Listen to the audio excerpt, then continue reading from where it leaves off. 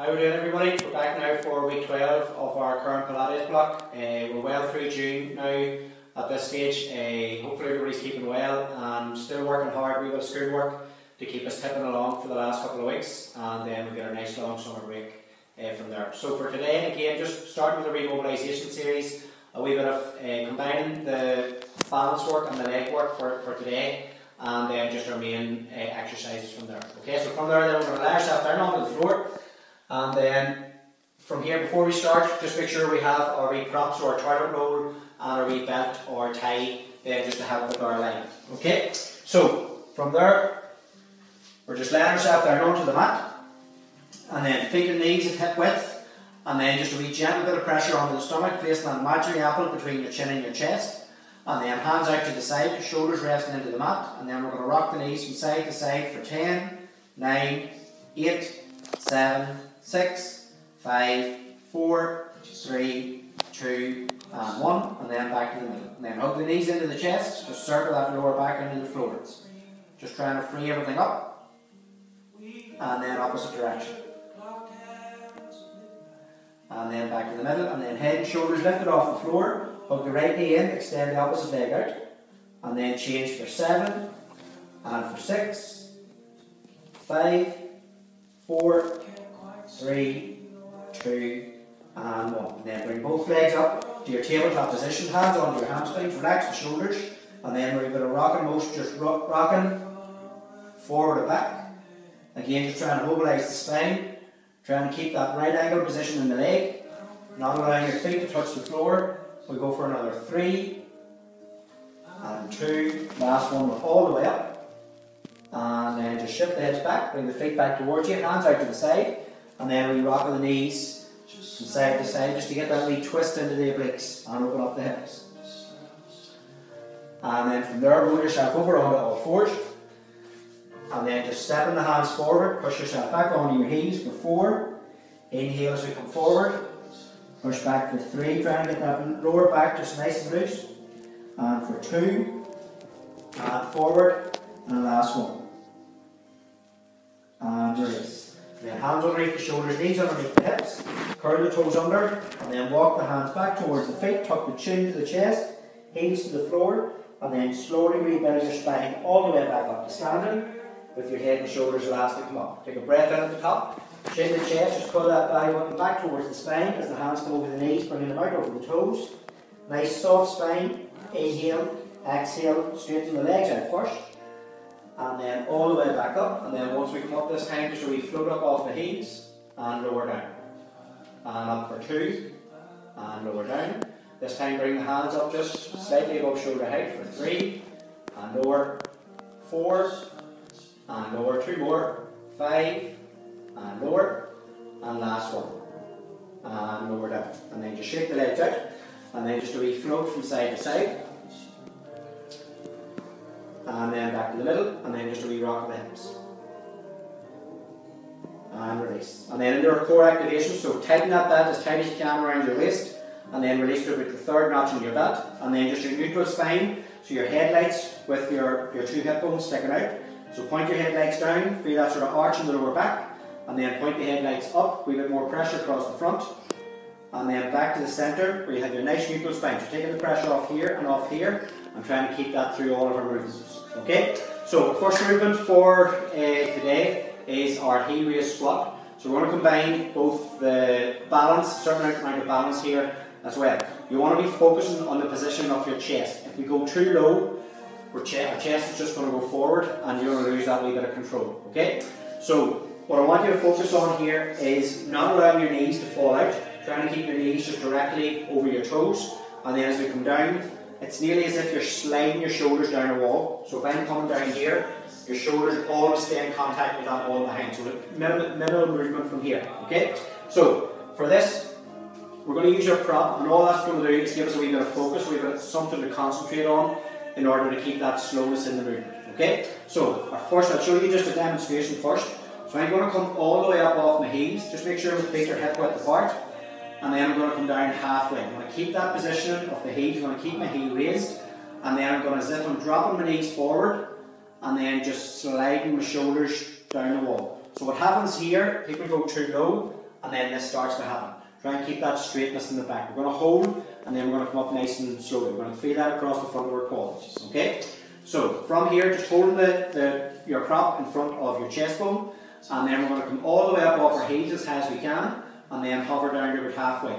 Pulling your stomach back towards your spine, and then we're going to drop the knees forward as if they're coming over the toes. Just slide, slide, slide. And wherever your position is, to keep that stability and hold. So you feel everything coming into the front of the thighs, and then all the way back up, and then release the heels down. And then up for two, as high as we can, hover the heels back down, and then remember, keep those shoulders back. Make sure the knees haven't fallen out, so it's nearly as if you're holding another toilet roll in between the knees. Hold that lower position, nice and concentrated, and then all the way back up, and release. You can feel that work into the ankle as well. Up for three, hover down, halfway, and then slide those shoulders back. So when I'm doing that, I'm feeling my belly button being pulled back towards the spine in order to be able to keep my control.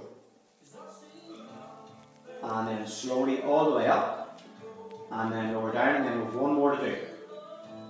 And then hover the heels halfway down, don't let those ankles roll out, and then we're going to slide the shoulders down that wall. Remember, we're not rolling forward. Go to that point where you can maintain that control, and then nice and concentrated, we're going to reach the arms out for three, and slowly back in. So feel that extra work into the quads once we add the movement. Two, and back in, and one, hold the arms out. Stay nice and strong, quads are burning at this stage. Bring the back the prop in, and then we're up three, two, and one. And then release it. And then shaking everything out. It just sort of shows when you lift the heat off, take away that support, you can really add a wee bit of uh, pressure to the front of the quads. From there then we're going to come down onto the floor. So we're going to go with our leg pull prone for today. So basically our straight arm plank. Uh, we give you two options here. Option one is going to be a wee bit easier. Option two is going to be a wee bit uh, harder. And then with option two only, we're going to add a progression. Okay, so our start position, hands underneath the shoulders, knees underneath the hips, and knees at hip width apart. Okay, so keeping everything engaged, keep that lower back nice and flat. So option one and option two start in the same way. So we're going to go to here. If that's too much for you, for option one, just drop the knees down and cross the legs over. So don't let the hips go to here or back to here. Try and keep that sort of ski slope position. Option two, we're going to stay in that straight leg position. Okay? So setting yourself up. We're going to inhale, exhale, right leg back. Keep the feet at hip width once they come back.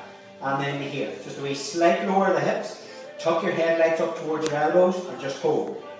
So make sure we're keeping that sort of good stability and even spread of weight across of the chest.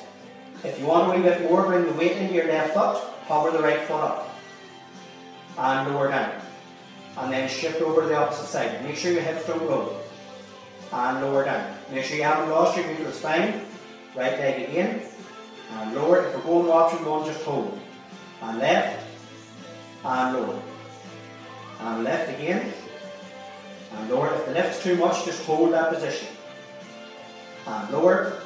And then stay for another four, three, two, and one. Knees to the floor.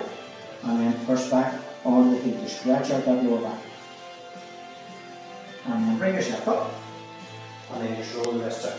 Okay, so that was a wee bit more difficult, especially when we're lifting the foot off the floor, we're trying to progress from where we were in previous weeks. Okay, next one then we're going to go with a shoulder bridge, and we're going to go for a full version uh, today.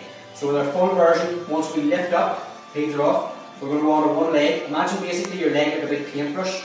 So we're going to lift towards the ceiling, sweep forward, so a nice big long stroke with your paintbrush, lift, and then back to the floor, and then we do the same on the opposite side. Okay? So I'll give you a quick demonstration, and then we come through together. So just give you the demonstration on one side. So hands down by your side, and then we're going to inhale. Remember, we're peeling our spine up off the floor, and then you shuffle the heels back for a nice controlled lift, and then from here, extend that right leg out. So we're going to lift, sweep to the floor, lift to the ceiling, back to the floor, and then we do it the opposite side. And then we're going to lay everything down, pubic bone back towards you, tailbone tucked underneath. Okay? So, setting yourself up, ready to go. And then we're going to inhale, exhale as we peel ourselves all the way up to the ceiling. Right leg to the ceiling, straight leg. We're going to inhale, exhale, back to the floor. Keep those hips lifted. So you're going to lift, sweep, lift, back to the floor. One more each side. Lift and sweep. Make sure the hips don't lower and lower down. Last one. Lift, sweep, lift and lower. Inhale as you lift the hips up. Exhale, lay the spine all the way back down. Bring that mobility into the spine. Inhale at the bottom. Exhale as we peel ourselves up again. And then weight into the left leg. Or lift the right leg. Sweep, lift, and back to the floor. Opposite leg, lift, sweep, lift, and lower. Keep those hips nice and steady. Right leg again, lift, and sweep, lift, and lower. Last time, lift, and sweep, lift, and lower. Inhale as you lift, exhale all the way back down. One more to do. So you feel that nice stretch in the hamstrings as well as you move that leg up and foot backward and forward. Last time up, right leg again to the ceiling. Lift, and sweep, lift, and lower. Last time, lift, or other side, sorry, and back up. And then keep those hips lifted. Last time on the right, lift, sweep, lift, and lower. Last one, lift, and sweep, lift, and lower. Inhale as you lift the hips up, bring the arms back, and then exhale as you tip everything underneath, trying to be controlled, controlled, controlled, as we lay the spine down on the floor, and then bring the hands forward. Well done, and then just hook the knees into the chest, and just a wee rock forward and back. And then bring yourself up. So nice wee bit of glute work for that one. Next one then we're going to work a wee bit on our oblique strength. So from here then, wherever basically you can, you can be comfortable with your feet, if it's full foot on the floor or else on the heels, sometimes when you go full foot, the hips can be a bit tight. So we're going to, I'm going to go heels for this, but make sure we don't let the knees fall out. Okay, so actually we can use our prop just to keep the knees in position. So sitting up nice and tall on our sit bones. So I'm going to bring one hand for, or both arms forward. So one hand is going to come back, and you're going to try and dip your elbow to the mat, and then back up. Okay, so we're going to go alternate each side each time. So we're going to inhale from here, exhale down with the right, and lift up. So we don't have to go all the way to the mat. And with the left, and back up. And for three, keep that opposite shoulder and arm in position.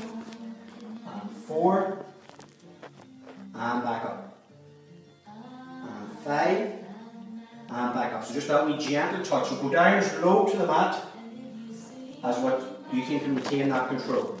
If we go down too low and there's too much of a shake, you basically lost that wee bit of control. One more each side. Down and back up. And last one. And back up. And then go back a wee bit further. Hold. Hold. Pull everything back. And then we're coming up for four, three, two, and one. Well done. And then just bring everything out. So prop is good then just to basically allow us to keep a good position. Okay? And then from there we're going to go with a straight leg lowers from this. So two options here. Option one, you can go just with your bent leg and tabletop, extend and lower the leg out. Or if you want to go straight leg, so the leg that stays straight, make sure that it doesn't move. Okay? So, from here then, if we go option one, I'll show you just from here. So option one, from your tabletop position, extend, lower, and then back in. We're going to go three, four one side, and then four the other. Option two then, we go from straight legs towards the ceiling. Okay, so pulling everything back. So, leg tabletop, so option one or option two. So I'm going to keep my left leg straight and in position. I'm going to go with the right leg, exhale for four, and back up. So the lower you go to the floor, the harder it is. Just go with what you can control. Two, and inhale back, and three, and back up. Let that stomach dome up. Pull everything down into the mat for four, and back up. Opposite side then. Inhale, exhale. So exhale on the hard part of the work. Inhale as we bring ourselves back up. Exhale, two. Inhale, back up. Keep that back glued to the floor if you can. For three. And back up. If your lower back's coming off the floor too much, don't go as low with the leg. And one. And back up. Legs to tabletop. And then bring everything down. And then just a wee rock with the knees from side to side. And then just tuck the knees in. And then just bring yourself back up. Okay? From here then we're going to go with our side bend. So basically bringing ourselves up to where our full version then, which we did, I think we did one of the weeks, but we're going to try and sort of build it up for the last two weeks. So this time we're going to go straight on, fingers pointed away from you, we're going to keep the legs bent, okay? And then we're going to add a wee leg lift at the start. So keep those heel or those rib cage, that rib cage lifted up off the floor. So from here, chest nice and open, and imagine a hook connected to the top of your hip. And then we're going to inhale, exhale, we're going to reach across, keep those legs stacked, and then hover the hips down. Don't let the, the hips drop onto the floor. And then reach. Inhale as we lower, hover and hold. And for three.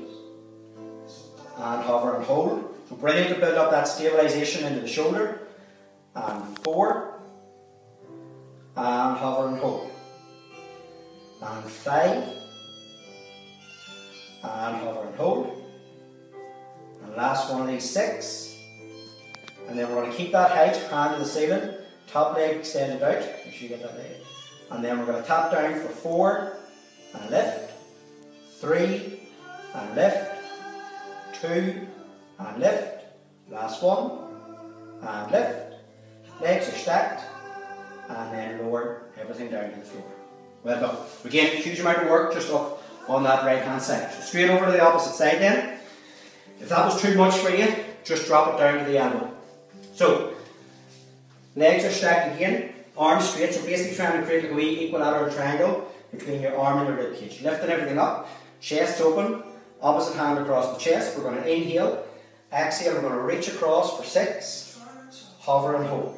So that nice stretch through that right oblique for five, hover down, and four, and hover down and three, and hover down. You're always going to have one side that's maybe stronger or more controlled than the other. And then two more. And hover down. Last one. And then keep that lift, hand to the ceiling, opposite leg out, lengthen through that toe, tap down for four, and lift, three, and lift, two, and lift, one,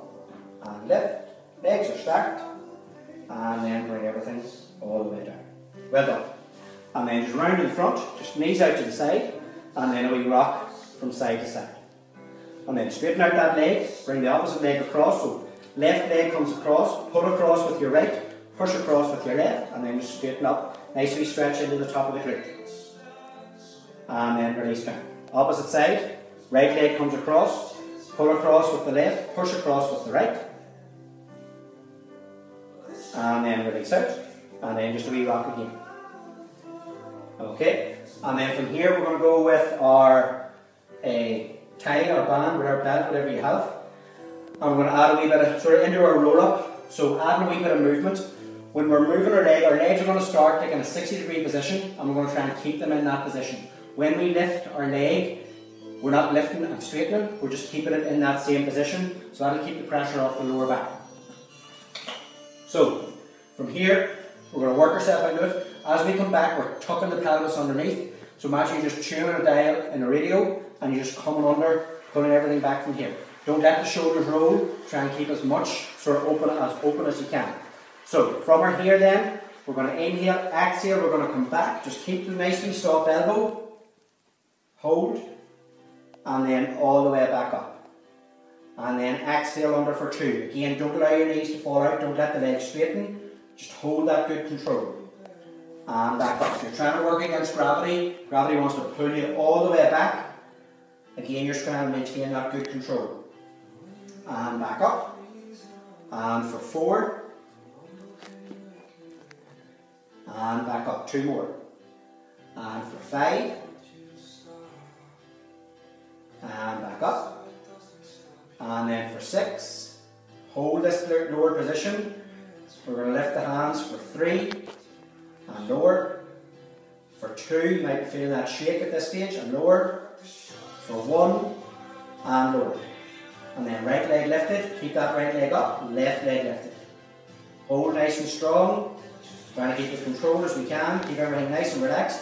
So probably shaking at this stage, three, two, one, heels are down, and then release forward. Now done. So just set your prop to the side, stones of the feet together, and then just pull yourself up over towards your toes. Just nicely stretch again the lower back and then in the inner run. So done. And then release out. Okay, last one for today folks, just our 100. So we're going to start for our first two then, our legs are in tabletop. If you want a wee extension then we're going to bring the legs out to 45 degrees, but you don't have to go there. If that's, if the legs in tabletop are too much, just keep the feet on the floor. Okay? So, from here then, we're going to lie ourselves down, pull the stomach in towards the mat, relax the shoulders, right leg to tabletop, right knee back towards you, left leg back, both knees out over the hips, heels in line with the knees. Hover the hands off the floor, imagine you're being pulled down towards your mat, you have to come up to this position. Relax the shoulders, and then from here, inhale for five beats, nice long arms, exhale for five. Inhale for five. Pull everything down towards the mat. Keep that good core control. Exhale for five. You want a wee bit more, legs to 45 degrees, up a wee bit further. Exhale for five. Inhale for five. Exhale for five. Inhale five. Exhale five. Inhale five. Exhale for five beats. Inhale for five beats. Exhale for five beats. Inhale for five beats. Nearly there. Exhale for five beats. If you need to go back to the knees bent, that's okay. Last two, inhale for five beats. Exhale for five beats. Last one, inhale five. Exhale five. Legs to tabletop. And then bring everything back.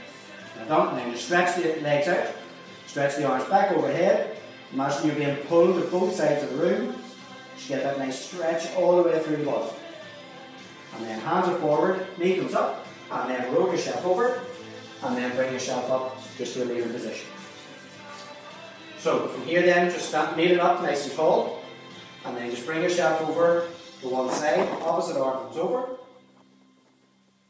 and then bring that arm back, slide opposite side, bring that arm over, bicep by your ear, and release, and then just a wee float from side to side. And then from here, just over onto our sideways on, up onto your heels, elbows inside the knees, palms to the floor. We're going to inhale and exhale, just roll yourself forward. So your elbows take the weight of the body and just support the legs. Imagine your tailbone being pulled away from the body just to stretch that lower back out and then just slightly reach the head forward. And then roll them back, elbows outside the knees, heels to the floor, and then rebend everything back up. And then from here, just a wee float from side to side. You got me, guys? Mm-hmm. And then wrist, roll the wrists, shaking everything out, and shake the arms out. Okay, everybody, that's week 12 done. We're nearly there. We have two more weeks to go. Uh, hope everybody enjoys the, the rest of the week. Stay nice and safe. Negi Ragujlawa, August Begi Moidi Kenya. Amor.